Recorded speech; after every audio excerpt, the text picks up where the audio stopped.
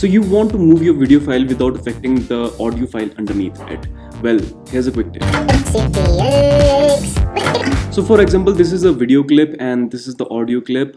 Uh, if we delete this video clip, you know that uh, the audio clip will be automatically deleted.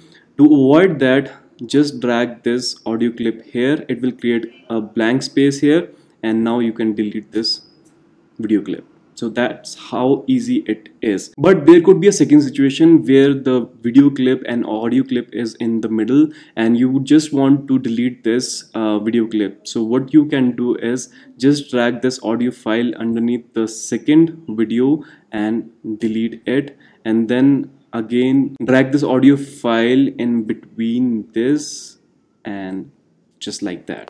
A bonus tip if you don't like this magnetic timeline you can just create an empty space like this. And now you can insert your video files here and the audio files here so that you don't have to deal with the automatically deletion. So that's all for the quick tip. See you in the next one